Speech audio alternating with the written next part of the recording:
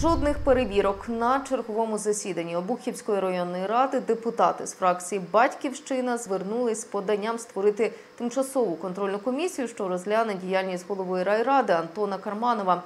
Обранці звинувачують його в нечесному розпорядженні майном райради та суміщенні діяльності. Детальніше дивіться в нашому сюжеті.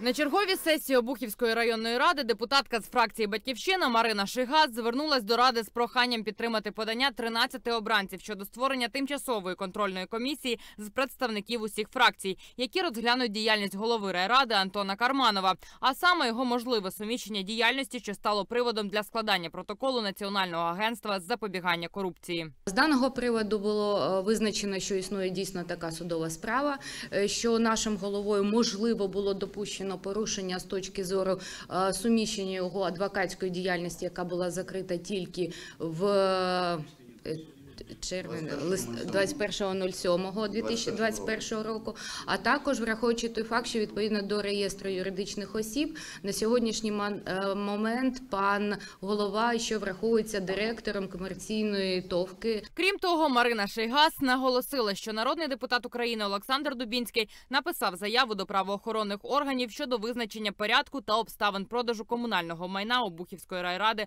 паливного складу. Відбувся для мене особисто незрозумілий порядок винесення даного майна на аукціон у другій годині, там 27 хвилин. Закриття цього аукціону вже о 15 годині. Оголошення переможця, який фактично е, змінив аукціон, підвищивши ставку тричі, потім не оплативши, і придбання вказаного майна по занищеній вартості. Голова Обухівської районної ради Антон Карманов пояснив, що у реєстрі юридичних осіб ще не внесені дані про його звільнення з посади директора юридичної фірми Карманов і партнери. Крім того, він наголосив, що припинив адвокатську діяльність ще влітку. Відносно всіх цих е, ваших зауважень е, в адвокатській діяльності, е, як в вашому же документі написано, що я закрив 21.07.21 року і отримав його 21.07.21 року.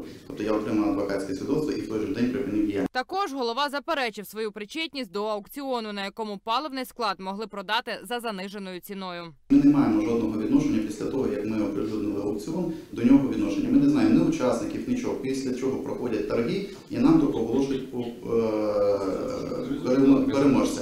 Переможець перший відмовився, второй також відмовився, е, тому що там ну вони оцінювали це по-іншому, не були належним чином освідомлені. Тобто аукціон фактично не відбувся і на даний час він заскасований. Після того, як Антон Карманов пояснив свою позицію, питання про створення тимчасової контрольної комісії було винесено на голосування. Проте депутатський корпус його не підтримав.